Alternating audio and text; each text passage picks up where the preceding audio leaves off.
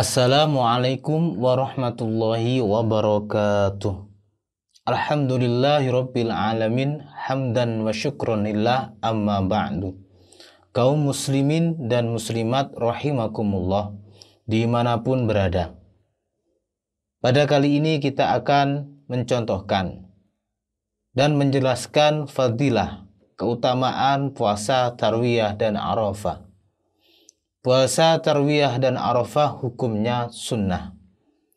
Puasa tarwiyah dilaksanakan tanggal 8 Zulhijjah dan puasa arafah dilaksanakan tanggal 9 Zulhijjah ketika jamaah haji melaksanakan wukuf. Puasa tarwiyah dan arafah disunahkan bagi kaum muslimin dan muslimat yang tidak melaksanakan ibadah haji. Banyak keutamaan-keutamaan melaksanakan puasa tarwiyah dan arafah.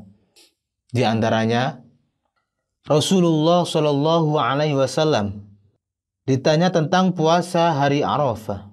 Beliau bersabda, menghapuskan dosa satu tahun yang lalu dan satu tahun yang akan datang.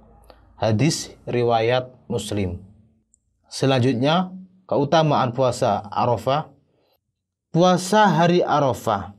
Aku berharap kepada Allah dia menghapuskan dosa satu tahun sebelumnya dan satu tahun sesudahnya. Jadi hampir sama dengan yang tadi fadilahnya.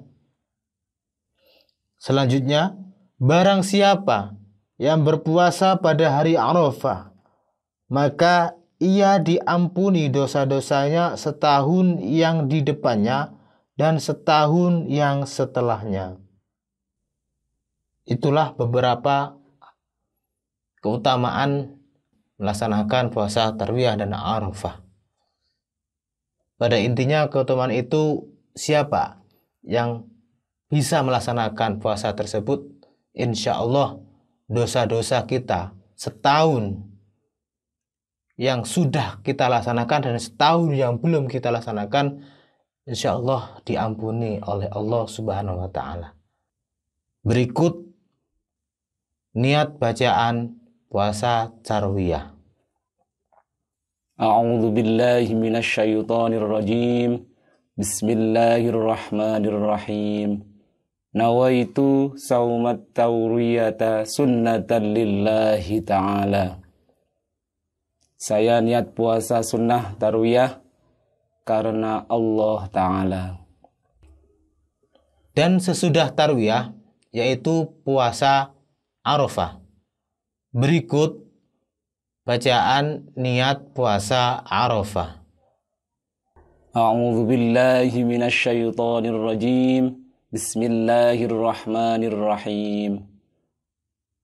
Nawaitu sauma arafata sunnatan lillahi ta'ala. Saya niat puasa sunnah arafah karena Allah Ta'ala. Alhamdulillahi Rabbil Alamin. Niat puasa tarwiyah dan arafah telah selesai dan seperti biasa puasa-puasa sunnah waktunya syaratnya sama dengan puasa wajib yaitu kita sahur sepertiga malam atau sampai uh, waktu imsak setelah itu kita puasa sampai terbenamnya matahari atau masuknya waktu maghrib dan hal-hal yang membatalkan puasa sama persis dengan hal-hal yang membatalkan puasa wajib mudah-mudahan kaum muslimin dan muslimat bisa memahami dan bisa bermanfaat konten ini. Bila mana konten ini bermanfaat bagi kaum muslimin dan muslimat, silahkan untuk di-share kepada ikhwan yang lain. Dan bila mana ada kekurangan atau uh, mungkin ada kritik dan saran, mohon untuk diisi di kolom komentar. Akhirun, wabillahi taufiq wal hidayah. Wassalamualaikum warahmatullahi wabarakatuh.